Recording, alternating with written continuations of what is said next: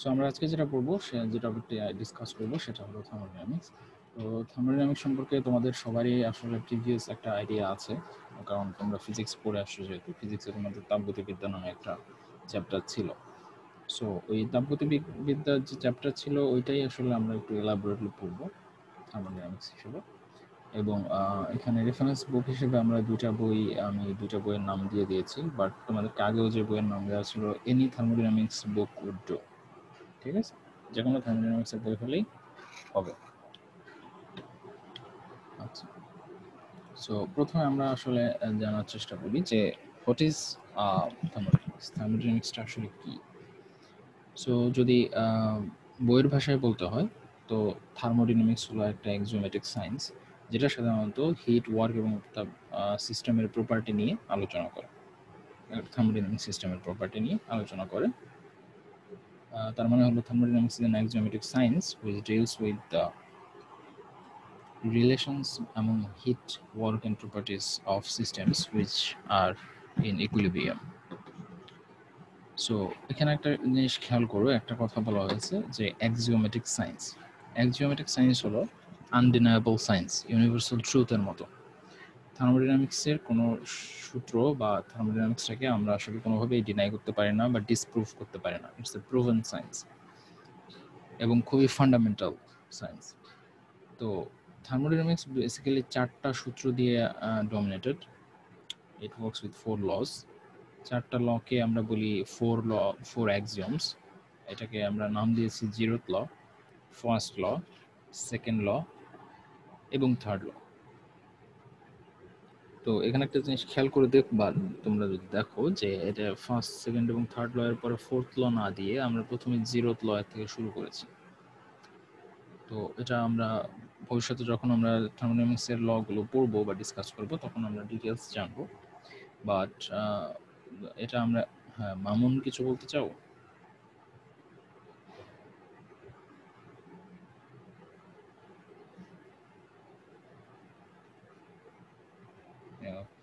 হাত উঁচু করলে তোমাদের বলার কিছু না থাকলে হাত উঁচু করব না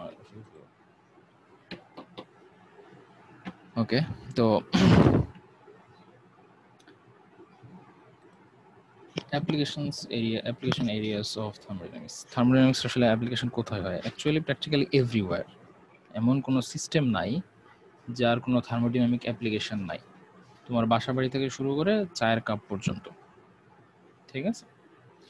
যেমন ধরো তোমার বাসা বাড়িতে রেফ্রিজারেটর আছে হিটিং এলিমেন্ট আছে, তারপরে অনেকে দেখা গেলো যে ইন্ডাকশন কুকার ইউজ করো, এগুলো সবই অ্যাকচুয়ালি থার্মোডাইনামিক্সের উদাহরণ, ঠিক আছে? তো থার্মোডাইনামিক্সের অ্যাপ্লিকেশন বলতে গেলে সার্বজনীন। যেমন কার রেডিয়েটর কার রেডিয়েটরের যে কাজটা করে, যে হিটটা এই ইঞ্জিন থেকে ট্রান্সফার করে বাইরে এক্সিট করে দেয় তাই না তার মানে ইঞ্জিনটাকে ঠান্ডা রাখার জন্য। তারপরে রেফ্রিজারেটর যেটা করে, একটা সার্টেন এরিয়া আছে রেফ্রিজারেটরের যে ভেতরের যে অংশটা, সেটাকে ঠান্ডা রাখা হয় এবং এই এই ঠান্ডা রাখা হয় কীভাবে? ভেতরের যে তাপটা আছে সেটাকে আসলে এক্সট্রাক্ট করা হয়।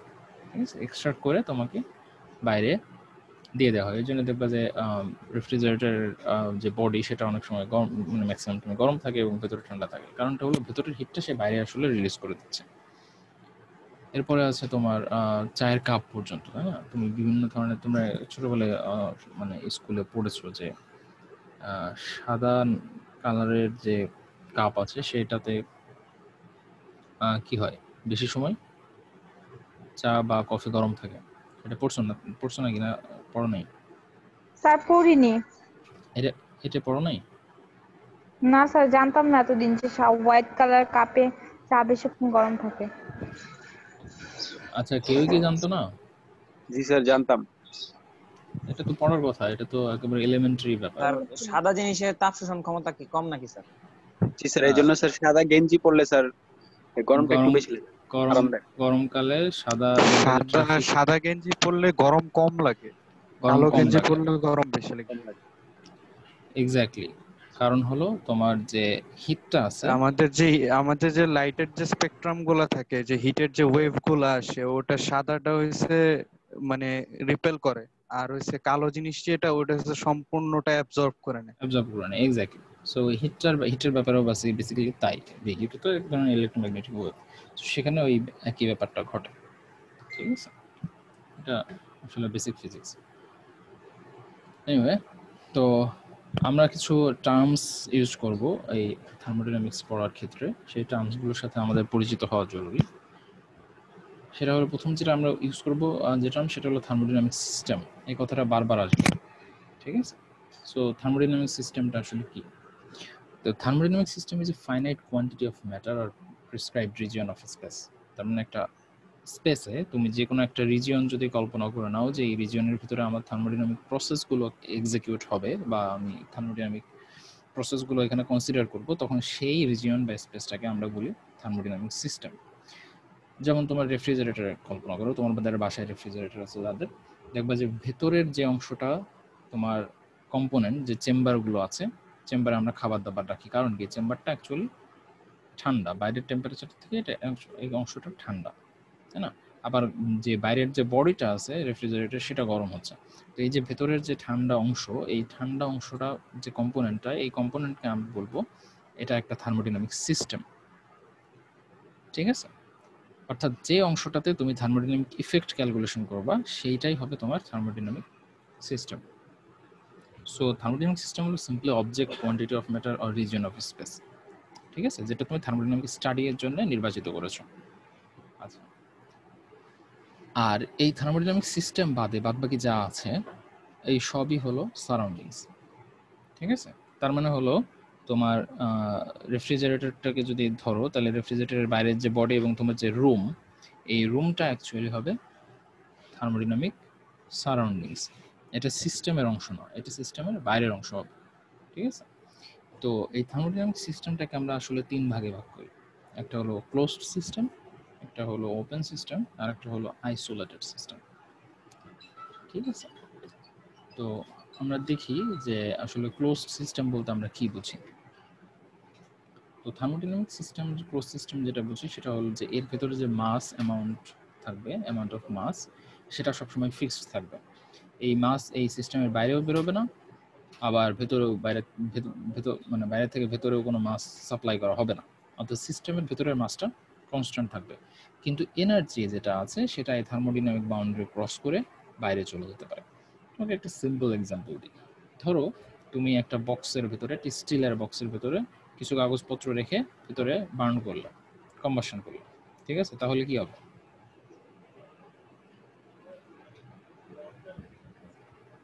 তুমি যদি একটা স্টিলের কম্পোনেন্টের ভিতরে, একটা বক্সের ভিতরে একটা ধরো এক কেজি কাগজপত্র দিয়ে আগুন ধরাই দিলে তাহলে তুমি কি ইফেক্ট পাবা?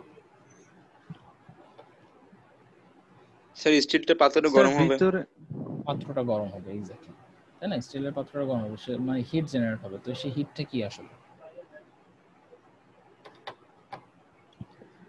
স্যার কোশ্চেনটা বুঝলাম না হিটটা কি মানে? আসলে কি? মানে আমরা মাস এনার্জি এক্স্যাক্টলি তার মানে কি? সিস্টেমের ভেতরে আমি একটা মাস বার্ন করার কারণে এনার্জি প্রডিউস হয়েছে সেটা হলো হিট আকারে এনার্জি প্রডিউসটা হয়েছে। হিটটা কি হয়েছে? এই বাউন্ডারিটা ক্রস করে বাইরে বেরিয়ে আসছে। তার মানে হলো ভেতরে যে কিছু একটা পড়তেছে এটা তুমি বাইরে থেকে ফিল করতে পারবা। রাইট জি স্যার তার মানে হলো এনার্জি বাইরে থেকে ভেতর থেকে বাইরে আসতেছে। তো এই যে একটা সিস্টেম কল্পনা করলাম এই সিস্টেমটা আসলে একটা থার্মোডাইনামিক ক্লোজড সিস্টেম যেখানে মাস ট্রান্সফার হবে না কিন্তু তোমার এনার্জিটা বাইরে বের হবে বা বাইরে থেকে ভেতরে এনার্জি দেওয়া যেতে পারে। এছাড়া আরও দুই ধরনের সিস্টেম আছে। একটা হলো আইসোলেটেড সিস্টেম আর একটা হলো open system so isolated isolated সিস্টেমে যেটা হয়, সেটা হলো যে ইন স্পেশাল কেস এটা, সেটা যেটা হয়, সেটা হলো যে nothing can get out or get in তার মানে হলো মাসও ভেতর থেকে বাইরে আসবে না, বাইরে থেকে ভেতরে যাবে না এনার্জিও বাইরে থেকে ভেতরে আসবে না, ভেতর থেকে বাইরে যাবে না। ঠিক আছে? কমপ্লিটলি আইসোলেটেড সিস্টেম আর ওপেন সিস্টেম হলো যে তুমি মাছটাও বাইরে ভেতরে আসতে যাইতে পারবে এনার্জিও বাইরে ভেতরে আসতে যাইতে পারবে ইট ডাজন্ট ম্যাটার ঠিক আছে? সো এরকম এক্সাম্পল আছে যেমন কম্প্রেসর টারবাইন এবং নজল যেগুলো আছে, এগুলো আসলে তোমার ওপেন সিস্টেমের উদাহরণ, ঠিক আছে? সো এখন যদি আমরা এটাকে একটা চার্টে সাজাই যে ওপেন সিস্টেম এবং ক্লোজ সিস্টেম এবং আইসোলেটেড সিস্টেম কি তাহলে আমরা দেখতে পারব যে ওপেন সিস্টেমে মাস ফ্লো করতে পারে ওয়ার্ক ফ্লো করতে পারে হিট ফ্লো করতে পারে। ক্লোজড সিস্টেমে মাস ফ্লো করবে না ওয়ার্ক ফ্লো করতে পারবে হিট ফ্লো করতে পারবে। আর আইসোলেটেড সিস্টেমে কোনো কিছুই ফ্লো করতে পারবে না। ঠিক আছে? মাসও ইন অ্যান্ড আউট হতে পারবে না ওয়ার্কও ইন অ্যান্ড আউট হতে পারবে না হিটও ইন অ্যান্ড আউট হতে পারবে না। এখন কথা হলো আইসোলেটেড সিস্টেম আবার দুই রকমের হয়। একটা হলো থার্মালি আইসোলেটেড সিস্টেম যে থার্মালি আইসোলেটেড সিস্টেমে যেটা সেটা হয় সেটা হলো যে হিট এবং মাস ফ্লো করতে পারে না বাট ওয়ার্কটা আমরা আউটপুট হিসেবে পেতে পারি, ঠিক আছে? আর মেকানিক্যাল আইসোলেটেড সিস্টেমে হিট ট্রান্সফার হবে মাস ফ্লো হবে না ওয়ার্ক ফ্লো হবে না। সো এই হলো তোমার বেসিক থার্মোডাইনামিক সিস্টেমের একটা চার্ট স্যার এটা আরেকটু আরেকবার বলেন। ওপেন সিস্টেমে মাস ফ্লো করবে ওয়ার্ক ফ্লো করবে হিট ফ্লো করবে। যেমন তোমার একটা ওপেন রুম ঠিক আছে? ইটস ওপেন সিস্টেম ক্লোজ সিস্টেমে মাস ফ্লো করতে পারবে না বাট ওয়ার্ক এবং হিটটা ট্রান্সফার হবে। যেমন ধরো IC engine internal combustion engine ঠিক আছে? আমরা সার্টেন অ্যামাউন্টের ফুয়েল দিই সো মাস ফ্লো অফ এরপরে আমরা এটা বার্ন করলে ওয়ার্ক আউটপুট পাই এবং হিট আউটপুট পাই। ওয়ার্কটা হলো মেকানিক্যাল ওয়ার্ক তাই না? যেটা দিয়ে গাড়িটা চলে। এবং হিটটা জেনারেট হয়। হিট ইঞ্জিন যেহেতু আমরা, সেটা হিটটা আসলে আমরা আউটপুট হিসেবে বা গাড়ি দেখব গরম হয়, তাই না? ইঞ্জিনের ভিতর থেকে বাইরে আসলে হিটটা চলে আসতেছে হিট ট্রান্সফার হচ্ছে। আর আইসোলেটেড সিস্টেমের এক্সাম্পল আসলে ওইভাবে এখনই দেওয়ার দরকার নেই, এটা আমরা নেক্সটে দেখব যে আইসোলেটেড সিস্টেমটা আসলে কীভাবে কাজ করে। বাট আইসোলেটেড সিস্টেমের ক্ষেত্রে তোমাদের যেটা জেনে রাখা জরুরি, সেটা হলো যে মাস ফ্লো করবে না ওয়ার্ক ফ্লো করতে পারবে না হিটও ফ্লো করতে পারবে না ইটস কমপ্লিটলি আইসোলেটেড ঠিক আছে? কমপ্লিট আইসোলেশন আসলে সম্ভব না বাট থিওরিটিক্যালি তো আইসোলেশন সিস্টেম আইসোলেটেড সিস্টেম আবার আমরা দুই রকম ভাবে বিবেচনা করতে পারি। কিছু সিস্টেম আছে থার্মালি আইসোলেটেড তার মানে তার ভিতরে মাস ফ্লো করে মাস ফ্লো করে না, কিন্তু ওয়ার্ক ট্রান্সফার হতে পারে। ঠিক আছে? এবং হিটটা ট্রান্সফার হবে না। আর মেকানিক্যাল আইসোলেটেড যেটা, সেটাতে আমরা হিটটা আউটপুট পাবো, কিন্তু আমরা কোনো ওয়ার্ক আউটপুট পাবো না। মেকানিক্যাল ওয়ার্ক না পাইলে সেটা হলো মেকানিক্যাল আইসোলেটেড থার্মাল বা হিট না না পাইলে সেটা হলো থার্মালি আইসোলেটেড ঠিক আছে? সিম্পল হিসেব। আশা করি বোঝা গেছে না?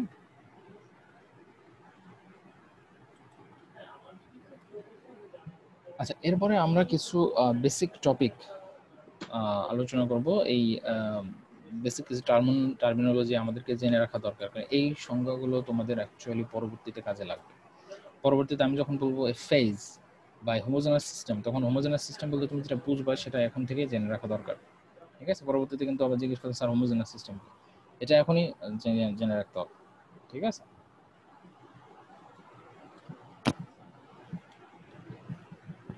সো হোমোজেনাস সিস্টেম হলো কোনো একটা ম্যাটারের সরি ফেজ হলো কোনো একটা ম্যাটারের একটা হোমোজেনাস স্টেট যে যখন তার টোটাল কেমিক্যাল কম্পোজিশন এবং ফিজিক্যাল স্ট্রাকচার সেম থাকে। তোমরা ফেজ যেমন ধরো স্যার হ্যাঁ বলো। কেউ কিছু বলতেছিলাম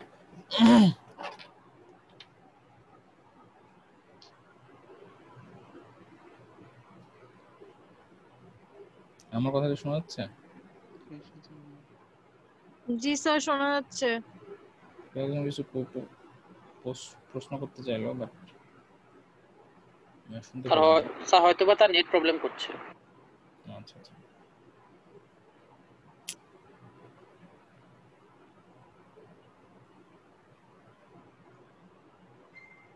আচ্ছা তাহলে আমরা ক্যারি আউট করি। আমার এখানেও এভাবে একটু সমস্যা হচ্ছে।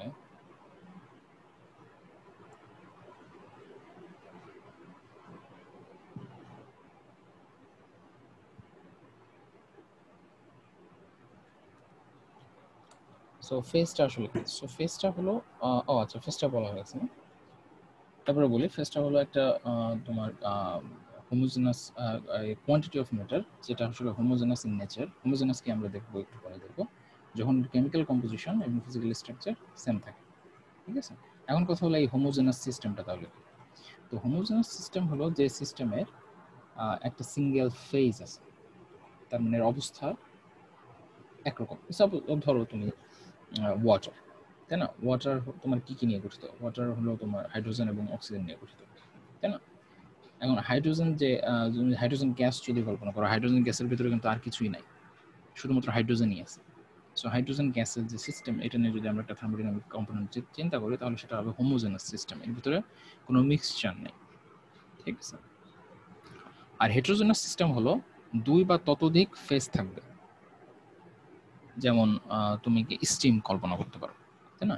স্টিমের ভিতরে কি থাকে? ওয়াটার পার্টিকেলও থাকে, আবার ভেপার মানে ওয়াটারের যে ভেপারটা সেটাও থাকে, আবার গ্যাসিয়াস স্টেটও থাকে, তাই না? তার মানে কি দুইটা আলাদা আলাদা হোমোজেনাস সিস্টেম অ্যাকচুয়ালি একটা সিস্টেমের ভিতরে চলে আসে। তার মানে এটাকে তখন আমরা বলব হেটেরোজেনাস সিস্টেম স্যার ফেসটা আরেকবার একটু ইয়ে করব। আচ্ছা সিম্পল যদি স্যার হোমোজেনাসটা স্যার আরেকবার একটু বলেন। আচ্ছা আচ্ছা আচ্ছা।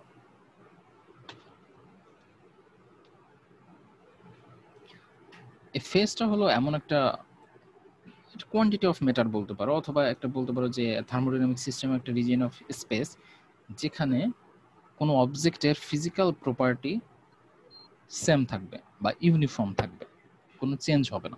যেমন ডেনসিটি ওয়াটারের ডেনসিটি কি? আমরা জানি এক হাজার কেজি পার মিটার কিউব তাই না? এটা কনস্ট্যান্ট সবসময় ওয়াটারের ক্ষেত্রে এটা কনস্ট্যান্ট তার মানে এটা ওয়াটার একটা ফেজ আর হোমোজেনাস সিস্টেম হলো যে সিস্টেমে একটা সিঙ্গেল ফেজ নিয়ে গঠিত। আর হেটেরোজেনাস সিস্টেম হলো দুই বা ততোধিক ফেজ নিয়ে গঠিত। তো হেটেরোজেনাস সিস্টেমটা তোমরা যদি বোঝো তাহলে হোমোজেনাস সিস্টেমটা বুঝতে পারবে। ধরো ওই যে যেটা আমি কথা বললাম যে স্টিম স্টিমের ভিতরে কি থাকে? ওয়াটার স্টিমের ভিতরে কি থাকে? শুধু গ্যাস থাকে? ওয়াটার পার্টিকেলস আর ব্যাপক থাকে। এক্স্যাক্টলি তার মানে একই অবজেক্টের একই ম্যাটারের দুইটা আলাদা আলাদা স্টেট একসাথে রয়েছে। এই একসাথে থাকার কারণে এই যে সিস্টেমটা হয়েছে, এটা হলো হেটেরোজেনাস সিস্টেম এটাকে যদি আমরা আরও হিট দিতাম, তাহলে ওয়াটার পার্টিকেলগুলো অ্যাকচুয়ালি স্টিম তোমার গ্যাসিয়াস পার্টিকেল গ্যাসে রূপান্তরিত হতো, তাই না? তখন আমরা সিঙ্গেল গ্যাস পেতাম সুপার হিটেড স্টিম যেটাকে বলে আর কি।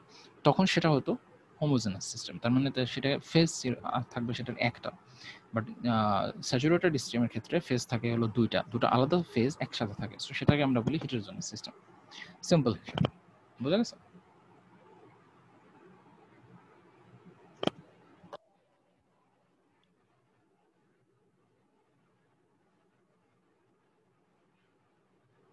বোঝা গেল নাকি আরও এক্সপ্লেন করতে হবে। স্যার আরেকটু মানে বললে ভালো হতো আচ্ছা।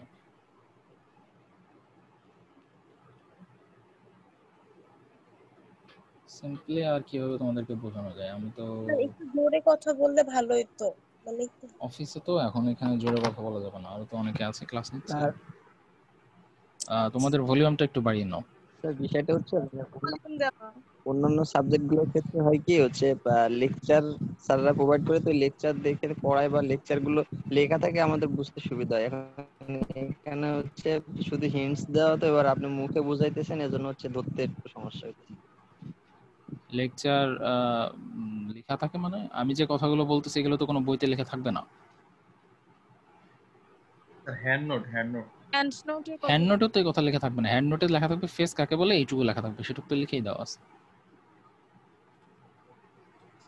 জি স্যার। স্যার আসলে নন ডিপার্টমেন্টাল সাবজেক্ট তো মেকানিক্যালটা এরকম আমাদের কাছে কঠিনই লাগে। মানে আগের সেমিস্টারে ছিল বলতে এটা তো মেকানিক্যাল না। তুমি এটাকে মেকানিক্যাল কেন ধরতেছো? এটা তো বেসিক ফিজিক্স এটা তো ইন্টারমিডিয়েটের ফিজিক্স থার্মোডাইনামিক্স থার্মোডাইনামিক্স ইন্টারমিডিয়েটের ফিজিক্স আমি তো এখনও মেকানিক্যাল কিছু শুরুই করি নাই।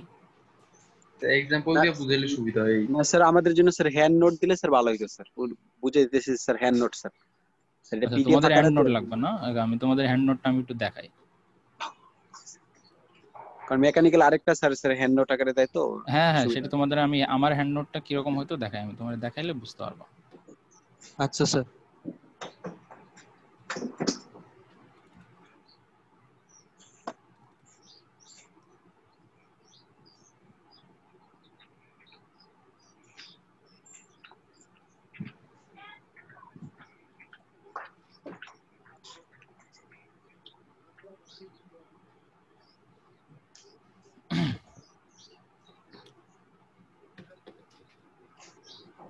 দেখা যাচ্ছে? আচ্ছা এবার আমাকে বলো যে thermodynamic system is an axiomatic science which deals with the relation among heat work and properties of a system which are in equilibrium it's basically and এর বাইরে আর কিছু লেখা আছে এখানে? নেই। আমার এখানে কি লেখা আছে?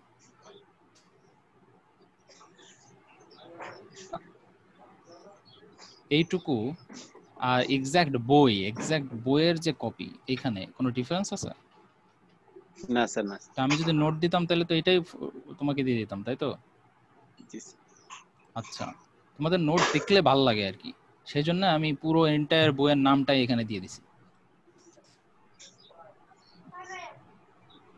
কে? নোট লাগবে এখনও? না স্যার আপনি স্যার এক্সাম্পল দিয়ে দিন স্যার। ওটাই ভালো স্যার এক্সাম্পল দিয়ে ভালো। এখন real তো দিলে তো এইরকম বইয়ে থাকবে না আর এগুলো তো আমি ওইভাবে লিখতে পারব না তাই না?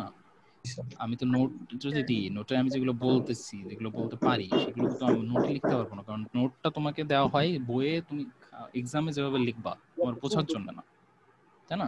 তুমি এক্সামে যদি আমি বলি যে এখন তোমাকে যে থার্মোডাইনামিক সিস্টেম কাকে বলে তাই না? তো তুমি তো লিখবা হলো এটা থার্মোডাইনামিক্স কাকে বলে লিখবা হলো এটা কিন্তু এক্সোমেটিক সায়েন্সের আমি ডেফিনেশন বুঝাইলাম তোমাকে। এটা তো হয় তোমার আমি বলে দিতে হবে না তোমার ডিকশনারি দেখে বের করে নিতে হবে। তাই না? আমি যদি বলি যে এক্সোমেটিক সায়েন্স হলো ধরো সূর্য পূর্ব থেকে পশ্চিম দিকে ওঠে এটা এক্সোমেটিক সায়েন্স এটা তুমি কোনোদিন ভুল প্রমাণ করতে পারবে না। তাই না?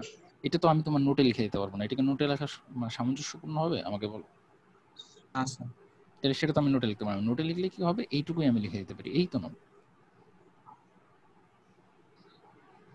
A homogeneous system is one which consists of a single phase. এই কথাটাই তোমার এ, এই যে এখানে লেখা আছে। আরও নিচে। তারপরে এক্সামের আগে কি মানে জাস্ট সংখ্যাগুলো পড়ব?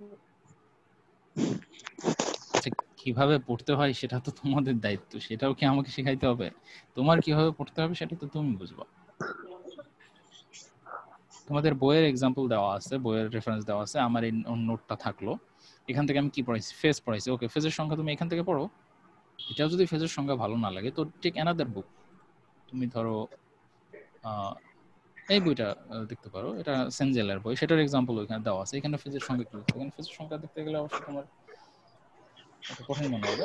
আমি এই ফেজের সংখ্যাটা তোমাদের দিই নাই।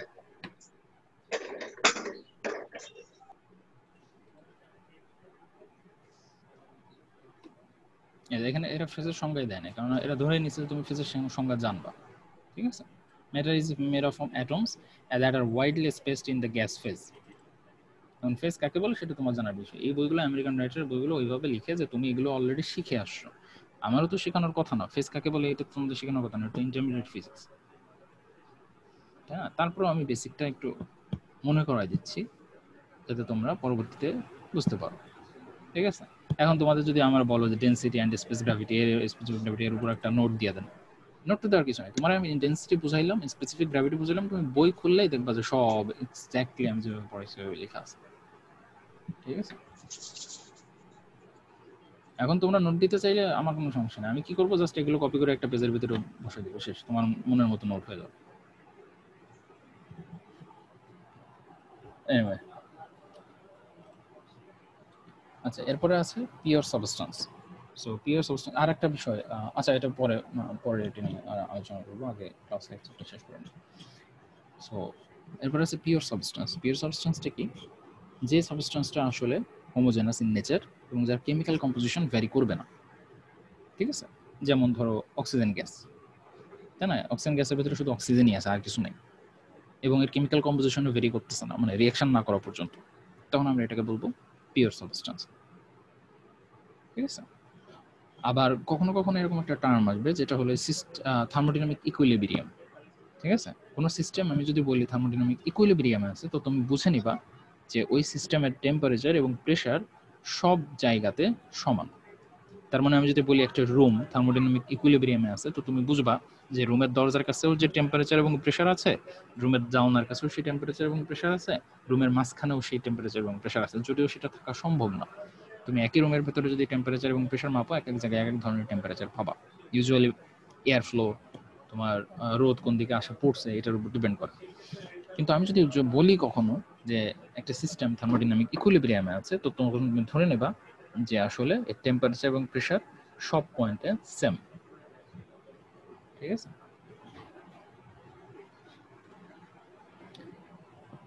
আচ্ছা আর দুটো টার্ম আমাদের জানা খুব জরুরি সেটা হলো প্রপার্টি অফ কালকে এটা ইয়া করলাম এখন আবার তুই এটা আবার উল্টাপাল্টা করলি না?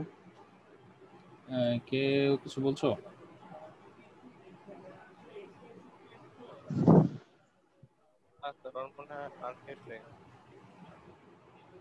ওকে। সো এই প্রপার্টি অফ থার্মোডাইনামিক সিস্টেম বলতে আমরা বুঝি যে কোনো একটা সিস্টেমের ক্যারেক্টারিস্টিক্স তাই না? ক্যারেক্টারিস্টিক্সটা কি আসলে? সেটা হলো যে সিস্টেমটা মানে সোজা বাংলায় বলতে গেলে অবস্থা কি, ঠিক আছে? সো এই প্রপার্টিকে আমরা দুই ভাগে ভাগ করি, একটা হলো ইন্টেন্সিভ প্রপার্টি আর একটা এক্সটেন্সিভ প্রপার্টি তো আগে এক্সটেন্সিভ প্রপার্টিটা তোমাদের বোঝা দরকার। যদিও বইয়ের মতো এখানে বইয়ে সাধারণত ইন্টেন্সিভ প্রপার্টিটা সব জায়গায় আগে লেখা এবং এক্সটেন্সিভ প্রপার্টিটা পরে লেখা। কিন্তু আমি ইউজুয়ালি বোঝানোর ক্ষেত্রে আমি মনে করি যে এক্সটেন্সিভ প্রপার্টিটা আগে জানা উচিত, ঠিক আছে? সো এক্সটেন্সিভ প্রপার্টিটা আগে জানা উচিত কেন? এক্সটেন্সিভ প্রপার্টিটার সংজ্ঞাটা দেখো depends on the mass of the system এটা হলো বইয়ের কথা।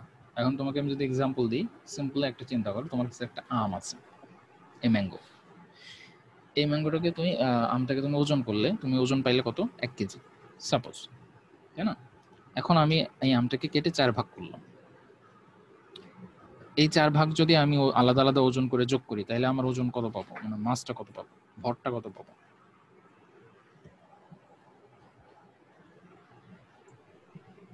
আগের ওজনের সমান এক্স্যাক্টলি আগের ওজনের সমান এখানে কোনো লস হবে না। তাই না? এই ধরনের প্রপার্টি যেগুলো অ্যাকচুয়ালি কনস্ট্যান্ট থাকে এবং মাসের উপর ডিপেন্ড করে সেখানে সেগুলোকে আমরা বলি এক্সটেন্সিভ প্রপার্টি তাই না?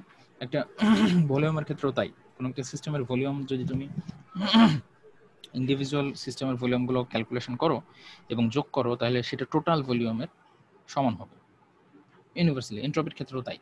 এন্ট্রপি ব্যাপারটা আমরা পরে দেখব but you get the idea R intensive property হলো এর উল্টা। এটা মাসের উপর ডিপেন্ড করে না, এবং তুমি যদি আলাদা আলাদাভাবে প্রত্যেকটা কম্পোনেন্ট মেজার করো টোটাল কম্পোনেন্টের সমান সেটা হবে না। যেমন ধরো টেম্পারেচার তুমি একটা সাপোজ একটা অবজেক্টকে হিট করলাম। রাইট হিট করে দেখা গেলো এর টেম্পারেচার সিক্সটি ডিগ্রি সেলসিয়াস এখন তুমি ওই অবজেক্টটাকে কেটে ফেললে চারটা ভাগ করলে এবং প্রত্যেক ভাগের টেম্পারেচার মাপলে। এবার যদি যোগ করো তাহলে আগের সিক্সটি ডিগ্রি সেলসিয়াস পাবা।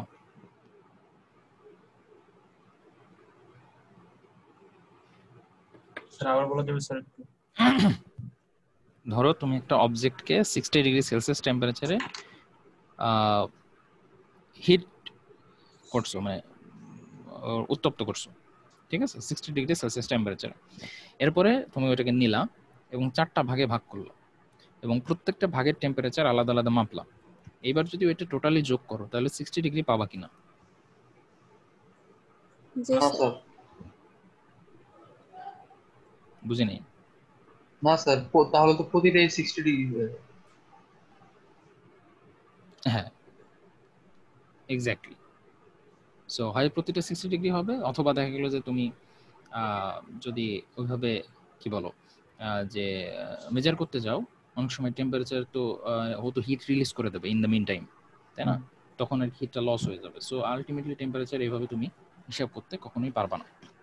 এইভাবে refractive index density hardness of অবজেক্টের ক্ষেত্রেও অ্যাকচুয়ালি ব্যাপারটা সেরকম। ঠিক আছে? সো ইজিলি মনে রাখার উপায় হলো ইন্টেন্সিভ প্রপার্টি মাসের উপর ডিপেন্ড করে না। এক্সটেন্সিভ প্রপার্টি মাসের উপর ডিপেন্ড করে। আর স্টেট ব্যাপারটা সবাই জানো, পদার্থের তিনটা স্টেট আছে। আমরা সেই স্টেট বলতে এই স্টেটই বোঝাবো। এখানে ওইটাই বলা আছে কন্ডিশন অফ এ সিস্টেম আর প্রসেস হলো তোমার একটা থার্মোডিনামিক প্রসেস বলতে আমরা বুঝব যে কোনো একটা সিস্টেম যদি চেঞ্জ হয় তার স্টেট অথবা এনার্জি ট্রান্সফার করে বা স্টেট চেঞ্জ হয়, তাহলে আমরা সেটাকে বলব থার্মোডাইনামিক প্রসেস এক্সাম্পল দিলে বুঝে যাব। ধরো তোমার কাছে এক টুকরা বরফ আছে। ঠিক আছে? এই এক টুকরা বরফকে তুমি যদি হিট দাও তাহলে কি হবে? প্রথমে তরল হবে। প্রথমে তরল হবে তারপর? তারপর বায়বীয় বাষ্প হয়ে যাবে। বাষ্প হবে। তার মানে কি? এই সিস্টেমটা undergoes a change in state এর স্টেট বদলাইছে। রাইট স্টেট চেঞ্জ হয়েছে সে আগে সলিড ছিল পরে লিকুইড হয়েছে তারপর গ্যাসিয়াস স্টেটে চলে গেছে। এখন তুমি ওই গ্যাসিয়াসটা অবজেক্ট যদি হিটটা রিমুভ করো তাহলে কি হবে? তাহলে স্যার লিকুইড হবে তারপর সলিড এক্স্যাক্টলি তাহলে কি হলো? তুমি একটা অবজেক্টকে হিট দিলা সেটা অবজেক্টটাকে সলিড থেকে লিকুইড হলো লিকুইড থেকে গ্যাসিয়াস হলো গ্যাসিয়াস থেকে হিট রিমুভ করলা গ্যাসিয়াসটা লিকুইড হলো লিকুইড থেকে আবার সলিড হয়ে গেল। তার মানে হলো একটা চক্র সম্পন্ন করছে। এই চক্র সম্পন্ন বা এই যে সাইকেল কমপ্লিট করছে এই সাইকেল কমপ্লিট করলে এইটাকে আমরা তখন বলব একটা থার্মোডাইনামিক প্রসেস স্যার স্যার আমার একটা প্রবলেম ছিল স্যার। হ্যাঁ বলো। স্যার আমার ইয়া স্যার বা- বাসায় স্যার কারেন্ট নাই স্যার। মোবাইলের sir only two percent charge sir. আরে ঠিক আছে সমস্যা নেই। হয়ে গেছে। জয়েন তো অবশ্যই আমি তো দেখতে পারব যে কি কত সময় ছিল বুঝলাম ওকে তোমারটা আমি খেয়াল রাখব। আচ্ছা। প্রসেসটা তো বোঝা গেছে আই হোপ তো এরকমের তোমাদের কিন্তু আমি সাইকেলের সংখ্যাটাও এর মাঝখানে বলে দিয়েছি ঠিক আছে? Any process or series of process whose end states are identical is termed as a cycle তার মানে দেখো তুমি সলিড থেকে লিকুইড এবং গ্যাসিয়াসে গেছো এবং ফেরত আসছো সলিডে তার মানে হলো, শুরুর যে মানে শুরু করছ যে সলিড অবজেক্ট দিয়ে, তুমি ফিরে আসছো কিন্তু সেই সলিড অবজেক্টে চক্র সম্পন্ন করে। এইটাকে আমরা তখন বলব একটা সাইকেল বা থার্মোডাইনামিক সাইকেল আর কি সো এই বিষয়ে আর কারও যদি কোনো কোশ্চেন থাকে সো প্রশ্নটা করতে পারো।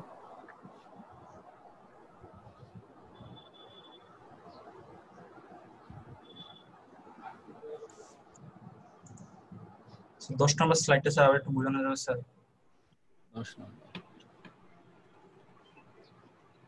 পিওর সাবস্টেন্স জি স্যার এটা খুব ইজি দেখো হোমোজেনাস কোনো একটা অবজেক্ট যদি হয় কোনো একটা ম্যাটার যদি হয় হোমোজেনাস এবং ইনভ্যারিয়েবল কেমিক্যাল কম্পোজিশন আমি যেটা বলছিলাম যে অক্সিজেনের কথা চিন্তা করো। অক্সিজেনটা আসলে কি? অক্সিজেনের ভিতরে কয়টা কেমিক্যাল কম্পোনেন্ট আছে? অক্সিজেন স্যার শুধু অক্সিজেন অক্সিজেন গ্যাসের ভিতরে কয়টা কম্পোনেন্ট আছে? শুধুমাত্র অক্সিজেনই তো আছে না? তার মানে কি? সেটা হলো হোমোজেনাস আর সেটা আমরা যখন সেটাকে অক্সিজেন বলতেছি তার মানে কি? তার কেমিক্যাল কম্পোজিশনের অ্যাকচুয়ালি কোনো চেঞ্জ হয়নি মানে আমরা হাইড্রোজেনের সাথে মিক্সচার করে ওটাকে পানি বানাই ফেলি নেই। ঠিক আছে? তার মানে হলো তার কম্পোজিশন কেমিক্যাল কম্পোজিশন স্টেডি ঠিক আছে? এবং এটাকে যদি তুমি অক্সিজেনটাকে যদি তুমি অনেক লো টেম্পারেচারে নিয়ে আসো, তাহলে কি হবে? অক্সিজেন অক্সিজেন লিকুইড তৈরি করবে, তাই না? নট ওয়াটার অক্সিজেনের লিকুইড তৈরি হবে। ঠিক আছে? তার মানে চেঞ্জ অফ ফেজও যদি হয় ফেজ যদি বদলেও যায়, তারপরেও সেটা কিন্তু কেমিক্যাল কম্পোজিশন সেমই থাকতেছে। লিকুইড নাইট্রোজেনের কথা শুনছো? লিকুইড নাইট্রোজেনটা কি? নাইট্রোজেনই তো, শুধুমাত্র লিকুইড স্টেটে থাকে। তাই না? তুমি যদি এটাকে নর্মাল টেম্পারেচার নিয়ে আসো গ্যাসিয়াস হয়ে যায়। তার মানে ফেজ কিন্তু বদলে গেছে। লিকুইডের থেকে অলরেডি গ্যাসিয়াস ফেজে চলে আসছে। কিন্তু তার কিন্তু কেমিক্যাল কম্পোজিশন চেঞ্জ হয় না সে আগেও নাইট্রোজেন ছিল, এখনও নাইট্রোজেন আছে। তার মানে এটা অ্যাকচুয়ালি হোমোজেনাস তার মানে এই যে সিস্টেমটা যে কমপ্লিট করল, এই যে এই যে সাবস্টেন্স যেটা আমরা যখন নাইট্রোজেন লিকুইড নাইট্রোজেন বলতেছি বা নর্মাল নাইট্রোজেন বলতেছি, তখন আমরা সেটাকে বলব পিওর সাবস্টেন্স বোঝা গেছে এখন? জি, sir. Sir, nitrogen, sir, liquid nitrogen, sir, আপনার মানে যে কোনো পদার্থের সাথে স্যার ওটার মানে বরফ বানায় দেয় কেন স্যার? লিকুইড নাইট্রোজেনের টেম্পারেচার অনেক লো মানে এক্সট্রিমলি লো মাইনাস ফোর্টি থেকে একশো একশো ডিগ্রি বা একশো বিশ ডিগ্রি সেলসিয়াস টেম্পারেচার হয়। এত লো টেম্পারেচারের সংস্পর্শে কিছু আসলে তো বরফ হবে হবে না। ওটা অ্যাকচুয়ালি নর্মাল টেম্পারেচারে নাইট্রোজেন তো গ্যাস ওটা টেম্পারেচার কমাতে কমাতে minus forty minus sixty eighty usually around minus hundred degree Celsius টেম্পারেচারের কাছে থাকে সো এত লো টেম্পারেচারে তো নাইট্রোজেন তো লিকুইড মানে নাইট্রোজেন লিকুইডের কাছে সংস্পর্শে কিছু আসলে তো সেটা টেম্পারেচার ওর ইকুইলিব্রিয়ামে থাকার চেষ্টা করবে তাই না? অবভিয়াসলি যেমন বরফের সংস্পর্শে কিছু আসলে বরফ সেই বরফ ঠান্ডা সে নিজেও ঠান্ডা করে দেয় সেটাকে। এই হলো ব্যাপার আচ্ছা আর কারও কোনো কোশ্চেন আছে?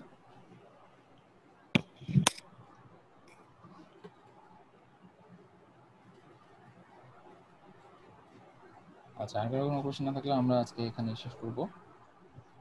স্যার গুগল ক্লাসরুমে ঢুকতে পারতেছেন না। স্যার একটি ইমপিওর ইমপিওর সাবস্টেন্সের কথা বলবেন কি? ইমপিওর সাবস্টেন্স বলে কিছু আছে কিনা? অবশ্যই ইমপিওর সাবস্টেন্স আছে। এই তোমরা অন্য কেউ एग्जांपल দাও দেখি। আর কেউ বলতে পারবে না। কেউ না কেউ তো জানার কথা।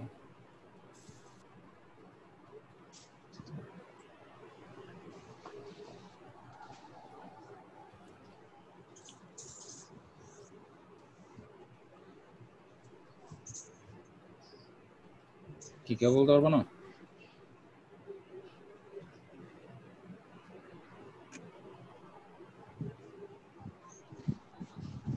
ধরো তোমার কাছে এক গ্লাস ওয়াটার আছে। এই এক গ্লাস ওয়াটারের ভেতরে তুমি লবণ মিশাই দিলা।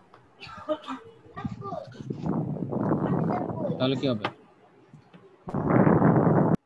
দুইটা জিনিস হবে। একটা জিনিস খেয়াল করো, এখানে বলছিলাম হোমোজেনাস ব্যাপারটা আর হোমোজেনাস নেই। তাই না? লবণটা হলো সোডিয়াম ক্লোরাইড, তাই না? তার মানে সোডিয়াম ক্লোরাইড এবং পানি দুইটা জিনিস একসাথে মিক্সচার হয়েছে, তার মানে এর ভিতরে হোমোজেনাসিটি আর নাই। ওকে সো কন্ডিশন শেষ। এরপর আছে invariable chemical composition chemical composition already vary করে গেছে। আগের ডেন্সিটিও নাই, আগের কেমিক্যাল কম্পোজিশন যা ছিল সেটাও নেই। তার মানে একটা সল্ট ওয়াটারের যদি আমার কাছে থাকে, এক cup salt water so that would be an impure substance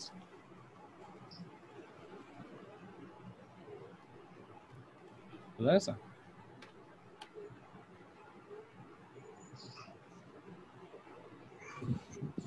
sir intensive সাবস্টেন্সটা আবার বুঝে গেল ইন্টেন্সিভ সাবস্টেন্স না ইন্টেন্সিভ প্রপার্টি প্রপার্টি স্যার এটা একটু আবার একটু বুঝাইলে ভালো তো আচ্ছা ইন্টেন্সিভ প্রপার্টিটা হলো তোমার যে প্রপার্টিটা মাসের উপর ডিপেন্ড করে না তাই না?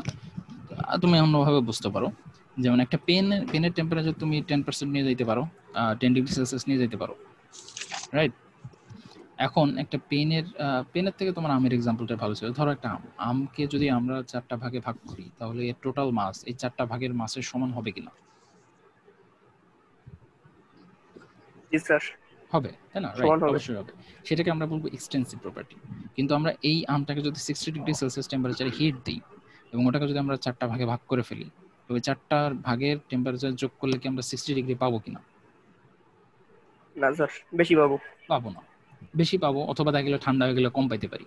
বাট এক্সাক্ট টেম্পারেচারটা পাবো না। তাই না? সেটা হলো ইন্টেন্সিভ প্রপার্টি ঠিক আছে?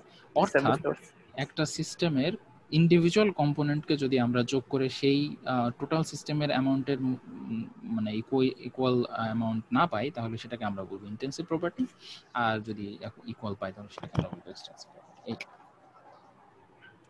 জি স্যার। ক্লিয়ার